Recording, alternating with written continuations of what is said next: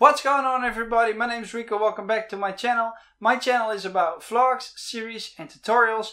And in this episode of How to Thursday, I'm going to teach you guys how to match your photos using Darktable.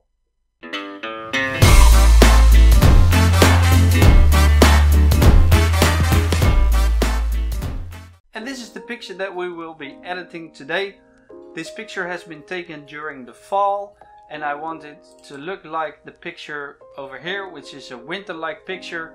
As you can see the dominant colors are red and a little bit of gray and black. It's a very contrasty picture and this picture isn't. So let's get to it what we need to do first is we need to go to the picture that we want to use as a reference picture. So make sure you have opened that in Darktable as well. And then you go to the color mapping menu.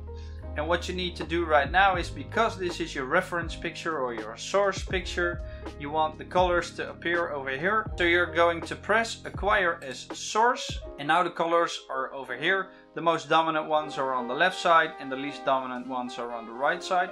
If you don't see the color mapping menu, please go to more modules and find it in the list down below and it will pop up over here.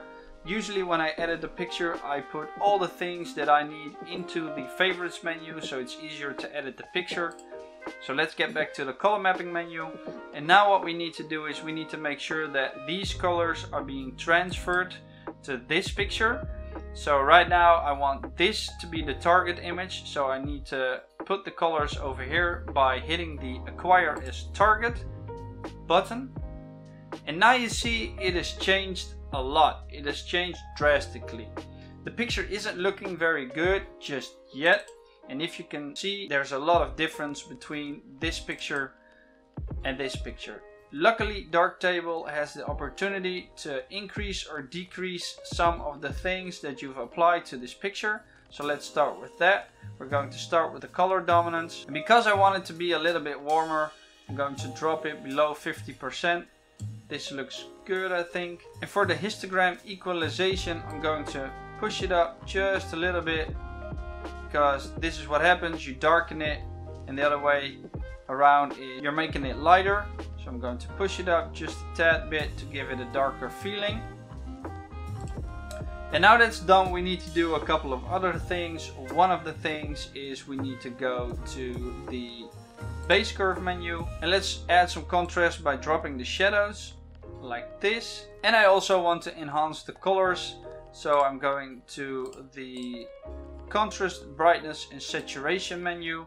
I'm going to increase the saturation by 12 and now the colors are popping a little bit more so it's a little bit warmer and there's one more thing left for me that I want to do which is change the white balance a little bit I want to cool down the image and I'm going to do that by decreasing the temperature not too much just a little because this is what happens if you put it to the left this is what happens if you put it to the right so it was somewhere around 6500 so I want to drop it down just a notch just to cool it down some more. And now if we look back at our source picture, you see that it's basically using the same color palette as this picture is using. It's still crushing the blacks a little bit over here. And we are here too, so that's nice. And the overall feeling of this picture is the same as this picture. Obviously this picture is taken in a city during the winter and this picture is artificially taken in the winter and it's a different setting so it will never be exactly the same but if you put this picture in your Instagram feed together with this picture, people can tell it's the same style and it will complement this picture on your Instagram feed. So let's check the before and after. Let's take a snapshot of the picture right now. And we're going back to the original one. And there you have it.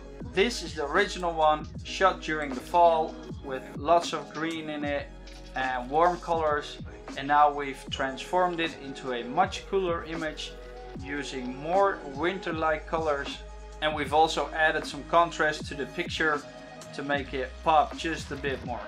And that's it. That's how you match your photos using Darktable. So now if you upload your photos to Instagram with the same type of look Everybody will think that that's your way of expressing yourself. I'm a very big fan of those. Obviously it can change throughout the year. In the fall it will have some nice and warm colors. In the summer it will have more yellow and green. And for the winter it will be a more cool like feeling like this. But let me know what you think of this tutorial. Drop a comment down below, I'm very curious. And there's just one more thing left for me to say, which is make love to the like button. Consider subscribing if you like what you saw. Hit that bell button to be the first to be notified when I drop a new video. And until next time, doei!